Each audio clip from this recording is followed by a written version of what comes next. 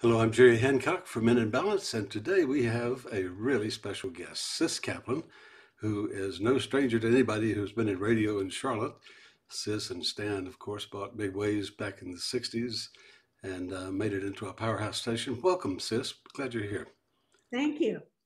So, um, I, I guess my first question I'd like to talk to you about today is Was there life before Ways, Big Ways, and what was it? I know you um, you went to Rollins College, is that correct? That is correct. Actually, um, I life um, was good before and during and after Big Ways. um, the before Big Ways, I I actually worked in. I did go to Rollins, graduated from Rollins, and went to work in Chicago, where I, which was home to me, and um, worked for CBS radio and television um, for, let's see, about eight years, and then worked in baseball. I worked for Bill Veeck, huh. who owned the Chicago White Sox. Um, and Aaron Cushman, who had an agency, and it was through the agency. Um, and I produced, I spent three months studying baseball and then ended up um, producing um, shows, talk shows with Bill, and how to baseball sh- shows with pony leagues and the White Sox and the Cubs and did that for several years. And before I met Stan and we ended up, he was in Boston and I moved to Boston when we got married and worked for an ad agency there and lived there for about a year before we bought ways. Yeah. So, um, how did that come about? I mean, did you you didn't just one night say, "Gosh, there's a radio station down south. I think we'll go buy it." No, the truth is, we almost moved to New York because I didn't.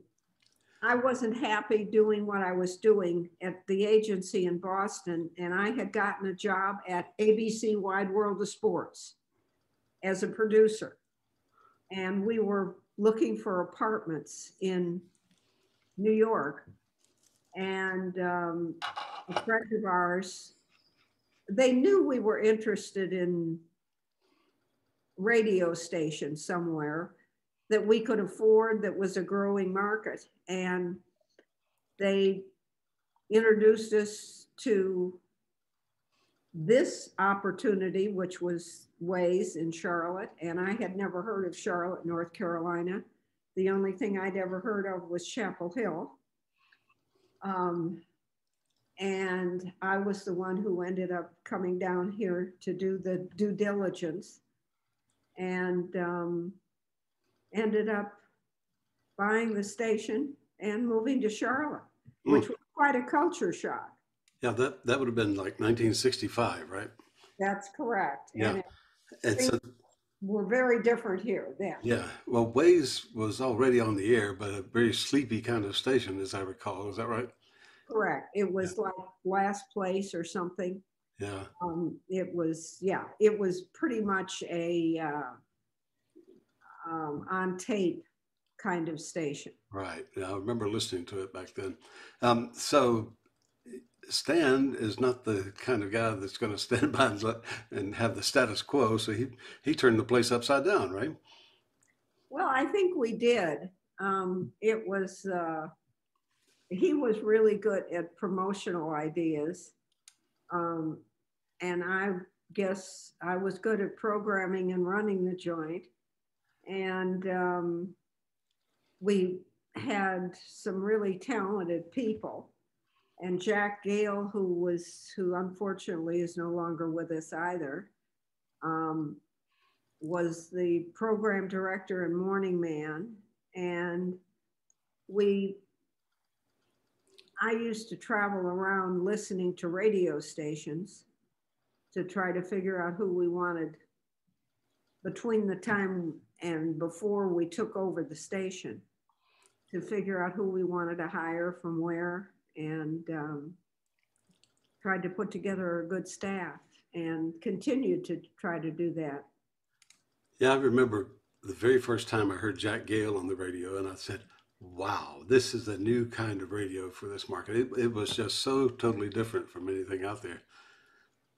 Yeah, he was very, very talented guy. And so then you went on to hire some other big names, Jay right. Thomas, Murphy in the Morning. Let's talk about those. Right, Murphy um, and Jay Thomas. Jay is no longer with us either. Um, unfortunately, he died of cancer. Um, and Murphy is still going strong. And um, I'm, I stay a little bit in touch with him. Um, you know, we occasionally, when I get to Chicago, that was before the COVID world, um, we would stay in contact and we are on Facebook. We're friends. So, yeah, I got to tell you a funny story about um, Murphy in the morning. I was working at the Chamber of Commerce, and we did a program called Leadership School, which in which we introduced young executives to different parts of the community. And we had a session on Got a uh, one of those classes. Yeah, and uh, we uh, we had one on the media, and Stan was on the panel for that class that day. So somebody asked him, "How much are you paying Murphy in the morning?" And he said, "Whatever he wants." so the, the, that that was a very popular um, move. Yeah, well, Murphy Murphy did well financially, but he also, um, because of his enormous talent, and we were talking about Larry Sprinkle before we went on. Um, he and Larry were an absolute fantastic pair and um, the two of them together were were fantastic. And Murphy was an enormous talent. Yeah. Or still is. Yeah. Enormous talent. I was surprised to learn there's still a um, website called Murphy in the Morning Radio. I didn't know that, but uh, and some of the stuff stuff from Big Ways is on there. Right. Yeah. Right. So um, yeah, you're right. Uh, uh, Larry Sprinkle brought a wealth of voices. I mean, I, I, this guy had more voices in him than anybody I've ever heard of. Well, he used to do terrible things. I mean, he the radio station was uh, out in Oakdale, which is north and west, and he when a new disc jockey would come on, who would be an all night, let's say, guy, he would call up and send them out to do something on the towers. or he, but he kidded everybody. I mean, he he would call me in a voice, and it was the FCC calling. And of course, in those days, the FCC was a very much a regulatory agency, unlike today, where they're not. Yeah. And he'd make appointments. He'd call Stan to come up to make a sales call. I mean, it was just, he had everybody. And it, one of the worst things he did is there was a new young woman in bookkeeping. And of course, the station was on a cement uh, slab. There was no basement. And we built, we had built a really lovely new radio station there. And that was state of the art at the time and um, architecturally a wonderful building. And this woman was sitting out in an area um, and he claimed to be in the basement and he told her that she better move or she better, you know, not, he could see from below where she was sitting. Oh my gosh. and this woman left for lunch and never came back. the first day, I mean, it there was no end to his uh, pranks. Well, speaking of which, you uh, the legend has it that you did some of your own pranks. I mean, like walking through the studio with a horse when somebody's doing the news. Is that real? Uh, it was a pony. A pony. Well, so big difference. Yeah. so, what was the purpose of that? Just, just a prank. Yeah. Well, it um, it sounded like a fun place to work. Everybody I talked to who was out there, and you had some great names. You raised some great names, even in the news business. Uh, Yeah. names like Bruce Bowers, Mike Koza, and uh, others that came through there. Right, yeah, it, um, it was a, yeah, John Kilgo um, put together a really good news operation. And I'll tell you how we ended up in the news business. When I came down to Charlotte and it was election time.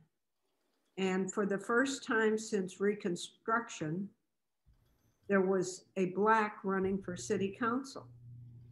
Um, I'm blanking on his name now. He was a dentist. Reginald Hawkins, was that him? Right. And the WBT, who was the powerhouse station at the time, um, cut away to religion in the middle of the coverage of the election night.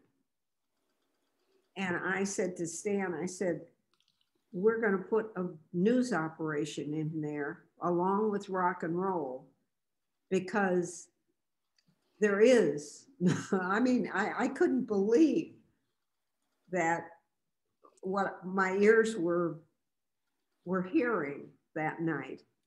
And um, that's that's how we decided to have a strong news operation. Yeah, but you had a great news operation. I mean, it was very credible and um, always on the spot. In fact, here's a funny anecdote. I was um, at UNCC in the late 60s and uh, I had a poetry reading outdoors, and one of the poets decided to read anti-war poetry, and so he got up on a rock and was reading anti-war poetry. That that would have been the first for UNCC, and all of a sudden, Big Ways is out there covering the story, and I said, "How the hell did they know about that?"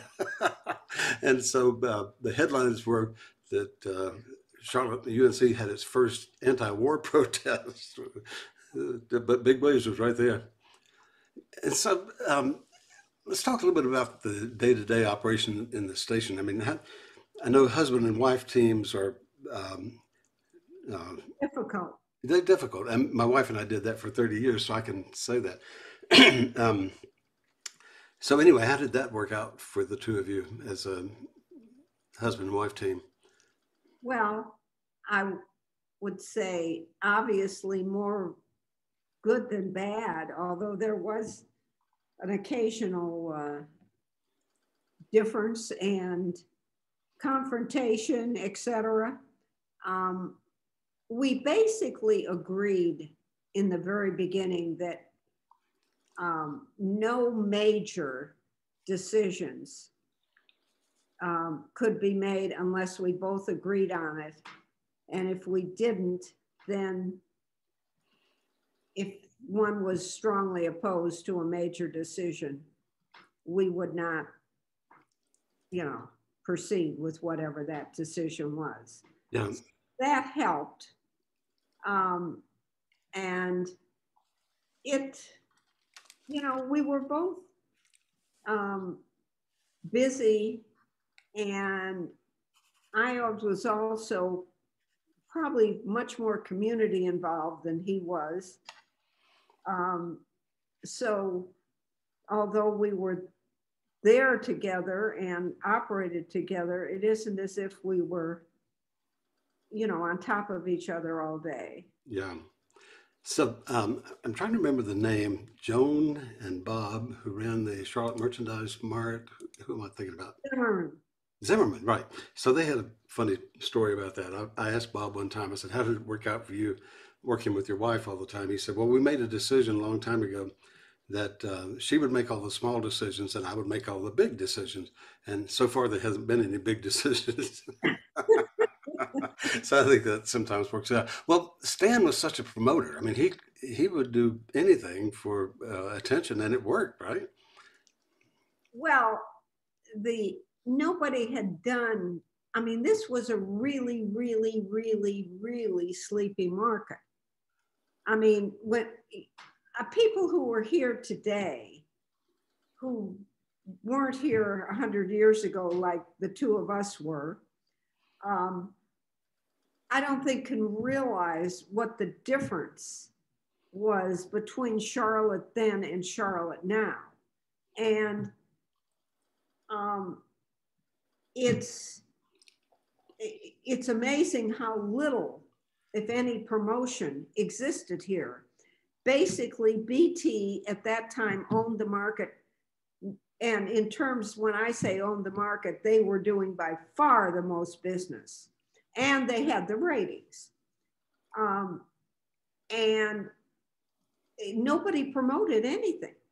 So to, to have to come in and do some crazy things, which we did. I mean, we started out with the treasure hunts, right? where we had 10 $1,000 treasure hunts. And, and that uh, was difficult. And the FCC uh, stopped all treasure hunts after that.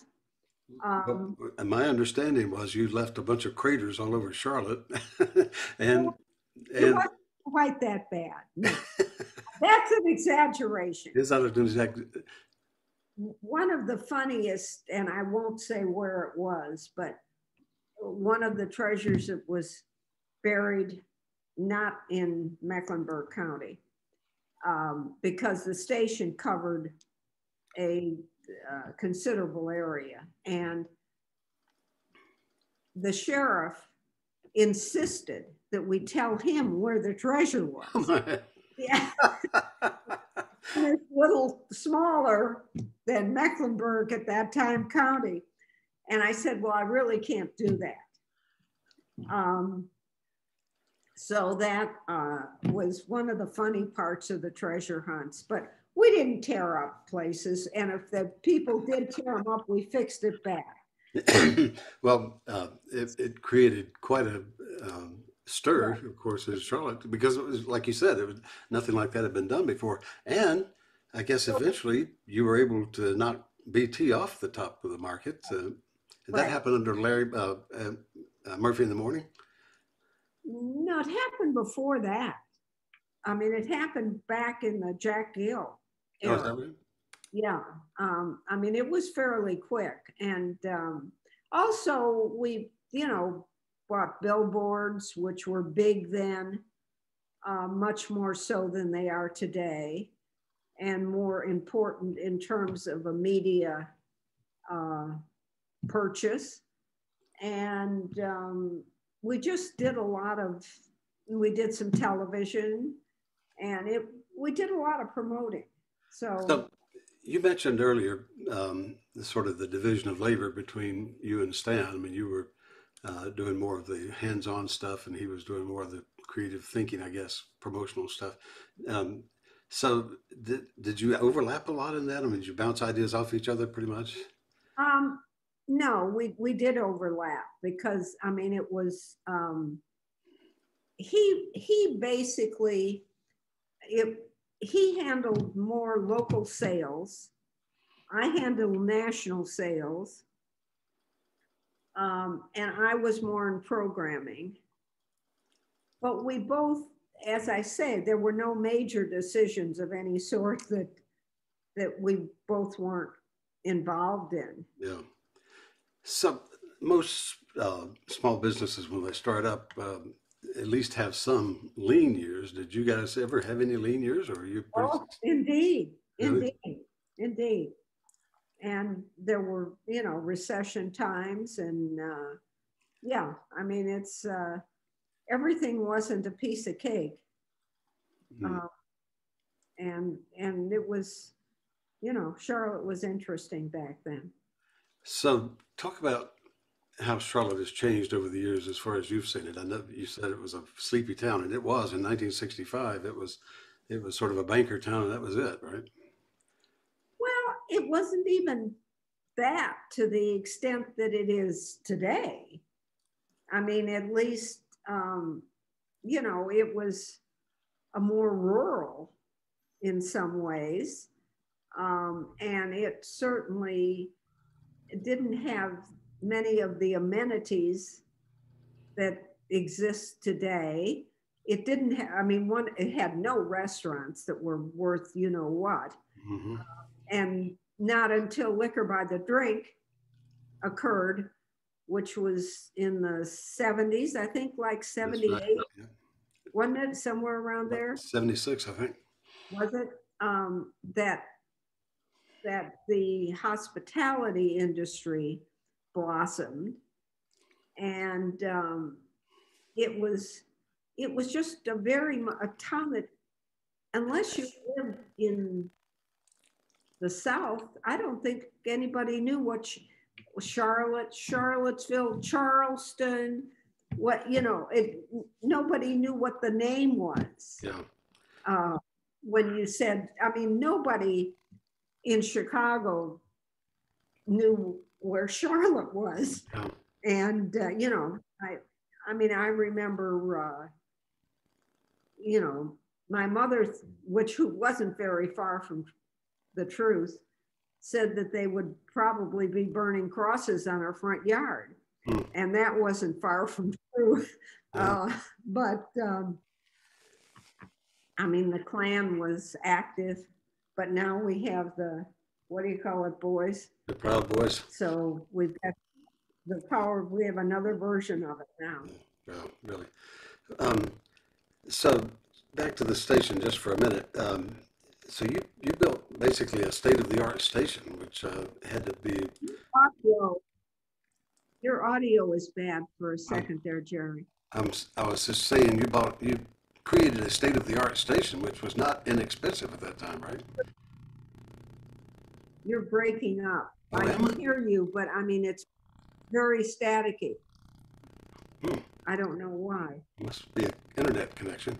Um, so anyway, you, um, you built a state-of-the-art station with top-of-the-line equipment and a newsroom and all that. That, that had to be a big capital outlay to get started. Well, it was. We didn't do that day one. Um, we basically, day one, what we did, because there was a little building there and we had a trailer. We brought a trailer out and rented a, a trailer and turned it into, that was the sales office.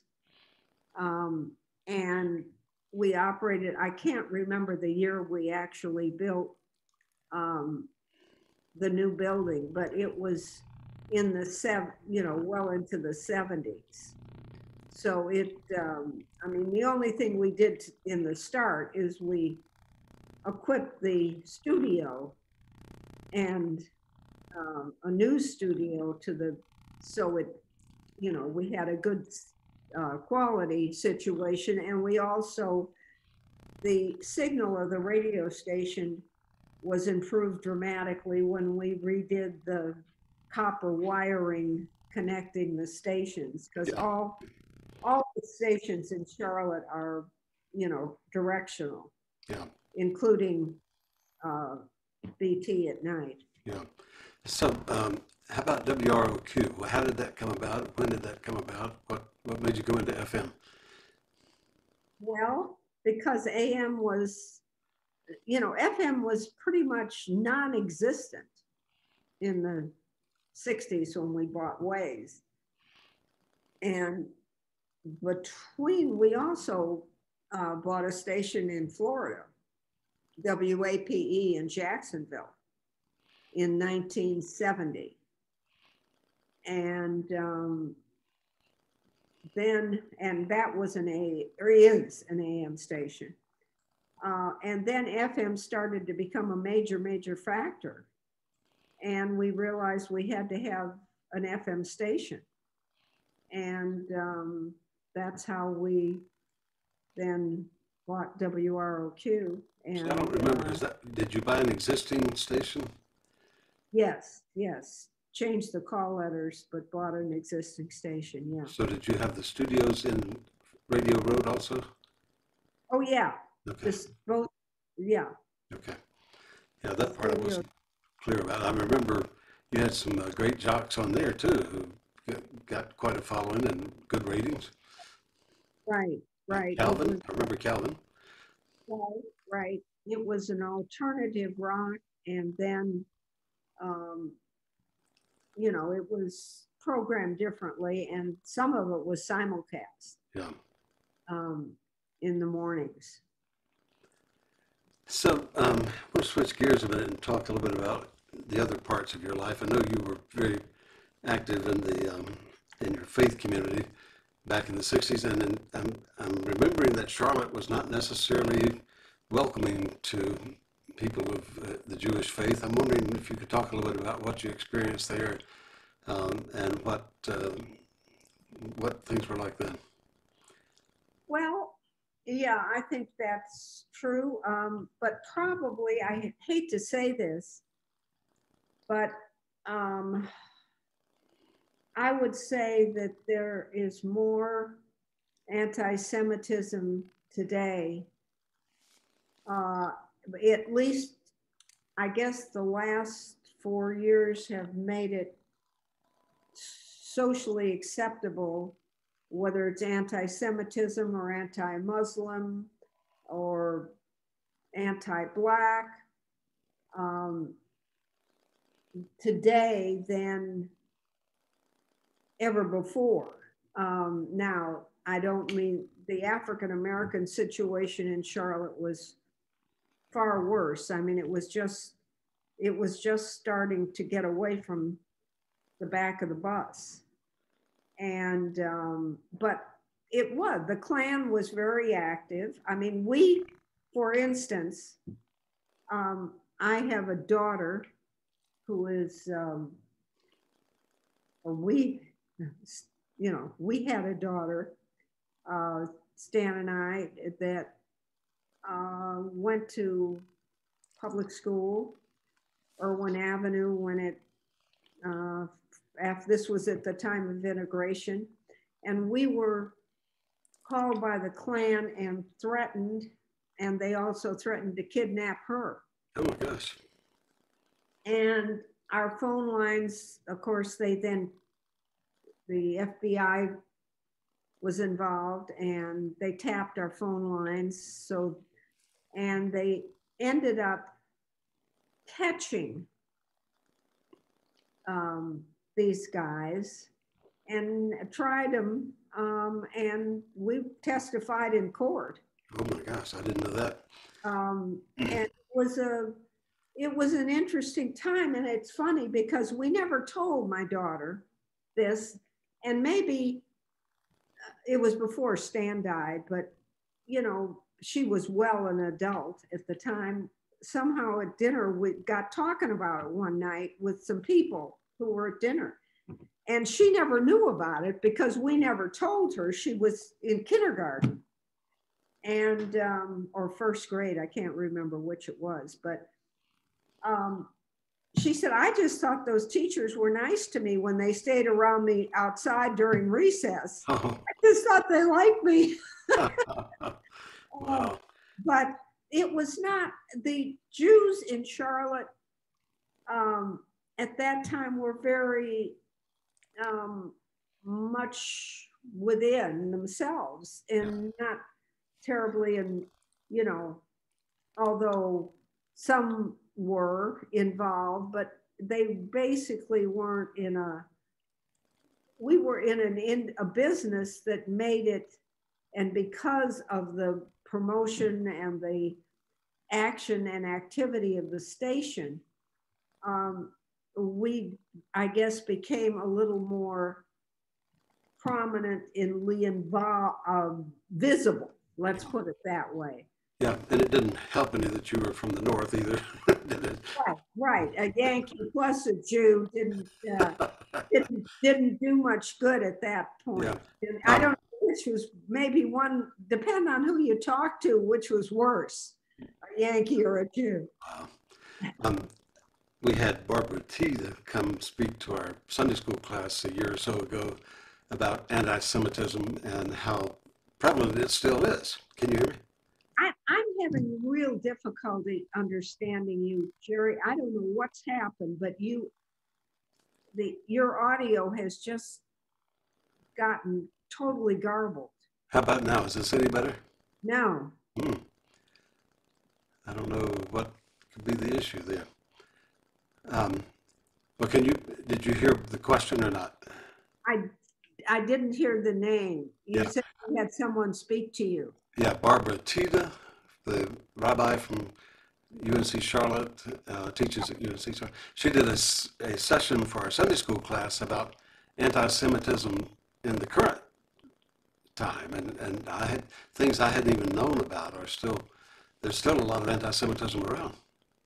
Oh, absolutely. And, and more so now, I think the Southern Poverty Law Center, uh, it was a year or two ago, I don't know if it was in 2000 or it was in 19, that um, there were more anti-Semitic um, violent acts than all the rest put together.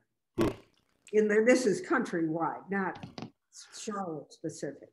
So, um, in your own life, Stan died, of course, in 2001. Um, so, what have you done with yourself since then? I know you're very active. Um, what have I done with myself? I suppose not as much as I should. but I, um, yeah, I am. I'm involved in, um, I do volunteer. Well, I was still working at that point, but um, when he died, uh, but then uh, I guess maybe three years later, um, I retired and uh, continued to do volunteer work, which I've done all my life. Um, I mean, even when I was, you know, at the height of the activity at the radio world, I was still involved in on all kinds of boards within the community. And I'm currently still involved. I involved with my condo association. Um, I volunteer for the Council for Children's Rights. Um, and I'm on the board of uh, Dilworth Community Association. So I'm staying active and into what's going on. Yeah. Well, I say, it was great to catch up with you again. I have missed seeing you over the years, and uh, it's Right. good to have you on here and good to hear the stories about Big Ways and the radio years. That was fun. Yeah, yeah, it, um, it was fun years and um, the industry is very different today. Yeah. Um, and thank you, I enjoyed it. Yeah. Thanks, sis. Appreciate you being with us. Sis Kaplan, former owner of uh, WAYS, WROQ, and a big force in radio in Charlotte in the 60s, 70s, and beyond. So thanks again for being with us.